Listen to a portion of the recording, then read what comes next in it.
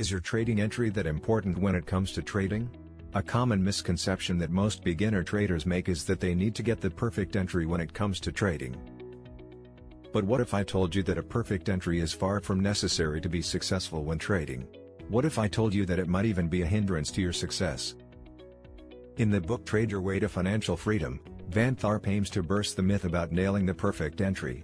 He argues that a trading system is only 10% entry.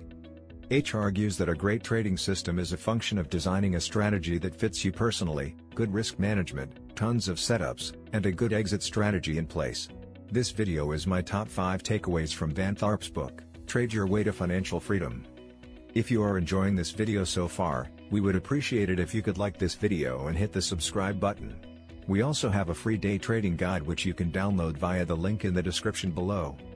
Takeaway number 1. Design a trading strategy that fits you personally. Trading is personal and not one size fits all. It is okay to look at our people's trading system but that should be your starting point in designing a profitable system. Some questions which will help you craft a trading system that fits you include 1. How much time can you devote to trading daily? 2. How much money do you have? 3. How much money do you need to make per year from your trading? I will further illustrate this by describing three different characters, each with their unique situation and how it influences their trading system.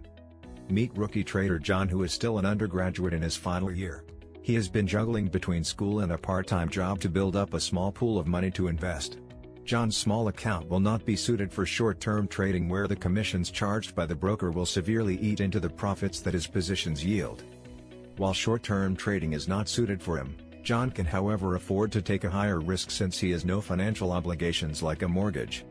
Meet our second frictional character Tim who is a partner of a hedge fund and thus doesn't need to worry about trade commissions since he gets a special rate. He must however ensure that the equity curve of the hedge fund is stable without big drawdowns. Any sharp drawdown could cause his investors to panic and leave the fund. In his case, he needs to adopt a strategy that has a high win rate without significant drawdowns. Our last frictional character is a retiree named Jordan who has plenty of time to trade and also the finances to trade. Because he can devote a lot of time to trading, day trading is perfect for him. Through these examples, you can see that everyone has different needs, and thus it is important to craft a trading strategy that is tailored specifically to you. Takeaway number 2, the notion of R&R multiples. One of the most common and deadliest mistakes an aspiring trader can make is to not define his risk when entering a trade. Van Tharp calls it R, the short form of risk. You probably heard about the golden rule of trading which advocates to cut your losses short and let your profits ride. If you do not predefine your risk, you could potentially lose your entire trading account in a single trade. Now when I say predefine, I'm referring to knowing when you are going to exit if you are wrong. All great traders are masters of risk management and they know how much they are risking at any one point in time. If you were to buy euro dollar at 1.5 and place in a stop loss at 1.49, we can say that you're risking 1R. What 1R means depends on the percentage of equity you risk per trade. Now Van Tharp explains that every trade you make can be measured in multiples of R using the earlier example. Let's say you manage to exit euro dollar at 1.52, a gain of 200 pips. That's a 2R trade because your stop loss was 100 pips and you made 200 pips. Van Tharp further illustrates this concept using two bags of marbles. These two bags characterize two different trading systems, each marble within the bag represents an individual trade and the outcome of the trade is expressed in terms of R. But how do you know which of the two systems is better? Well, if you sum up the value of the marbles for each bag and divide by the number of marbles, you will get the expectancy of the trading system. The expectancy of the trade represents how much in terms of R, that you can expect to earn on average from a trade. In this example, we can see that System X is better than System X in this regard. System X has an expectancy of 0.5R versus System Y which has 0.3R. Van Tharp tells us to visualize how the distribution of R multiple looks like so that we can understand what to expect from the system. Takeaway number 3, always have an exit plan. Van Tharp argues that exits are way more important than entries.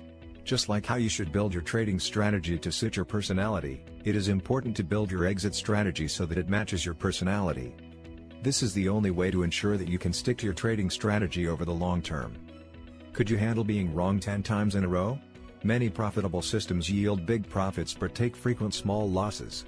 This is very typical of a trending strategy where the big money is made when the market trends. But because the market only trends less than 20% of the time, you will be taking frequent losses when the market is range-bound. And even though a trending strategy might be profitable in the long run, you could easily have 10 losing trades in a row which might lead you to abandon the strategy. Van Tharp covers three types of exits that you might want to consider. 1. Percentage exits. This is a very common kind of exit where you exit if the price drops a certain percentage. If you read the classic book How to Make Money in Stocks by William O'Neill, he talks about cutting your losses when a stock declines more than 7% from your entry price. You can also use a percentage exit as a trailing stop loss where you adjust the stop loss as the trade moves in your favor. 2. Time exits. If your trade idea is based on a news event or catalyst like an earnings announcement, then using a time exit is logical. You expect a reaction from the market to the news event and if the market doesn't move, then your thesis is wrong and you exit the trade. 3. Volatility exits. When the market makes moves to a level which it shouldn't, it is time to get out. This is useful for cutting losses short and securing profits alike. Now no matter which exit strategy you pick, losses are unavoidable. Rather than avoid it, seek to manage it and keep your losses small. Takeaway number 4, you need opportunities, tons of it.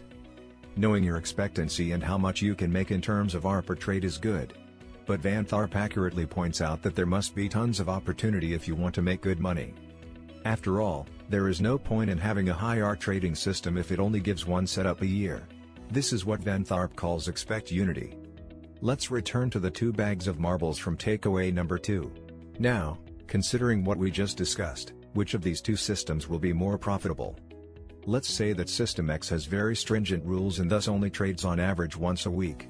As a result, you can only expect to profit 26R yearly since the expectancy per trade is 0.5. Now let's say that trading system Y, which has a lower R, trades on average once a day. Thus, you can expect it to generate about 109 R yearly since the expectancy per trade is 0.3. System Y is likely to make more profit in a given year even though it has a lower expectancy per trade. This is because the system offers more trading opportunities. Takeaway number 5, the most important part of a system is position sizing.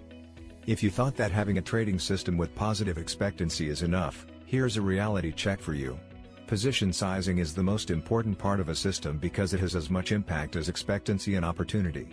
Yet, it is often overlooked. To demonstrate the importance of position sizing, we will return to the bag of marbles that represents System X except that this time, I want to introduce three traders into the example. Tim the risk taker, Rachel the fixed-minded and Conservative Lee. Each of them has $5,000 to trade and they all use the same systematic trading strategy. The only difference is how they size their positions. Tim the risk taker is always risking 20% per trade or in other words, $1,000 per trade. He lives by the motto, Go big or go home. Rachel the fixed-minded wants to keep things simple. She always risks 2% or $100 per trade and does not adjust this as her account balance grows or declines. Conservative Lee applies the percentage risk model taught by Van Tharp. She always risks 3% of her equity on any given trade. In this case, since she has a capital of $5,000, she risks $150 per trade.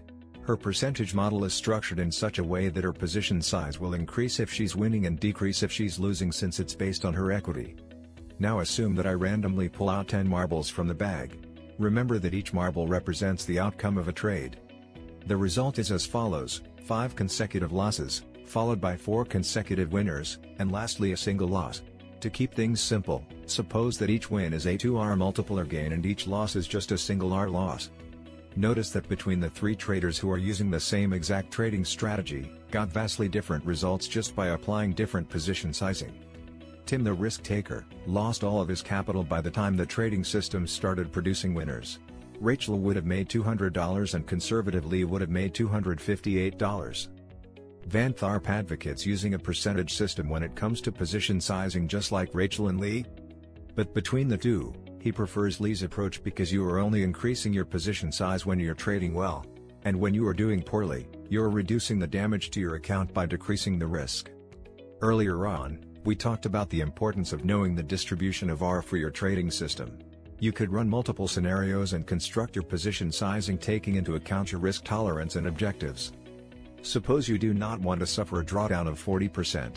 You can pick a position size that is unlikely to hit that threshold. Here's a quick recap of my 5 takeaways. Build a trading system that fits your personality and risk appetite. Always be sure to predefine your risk R and evaluate your trading system in terms of R multiples. Having an exit strategy that maximizes your returns and matches your personality is also important. When deciding between trading systems, consider both expectancy per trade and number of opportunities since a high expectancy system may not necessarily yield the best results if there aren't enough trading opportunities. Lastly, position sizing is the most overlooked aspect of trading but it can make or break your trading system. Remember that traders often take a perfectly good and profitable system and ruin it by not managing risk well. If you enjoyed this video, please hit the like button and subscribe to our channel. We have many other Forex videos that are created to help you become a better trader. Thanks for watching.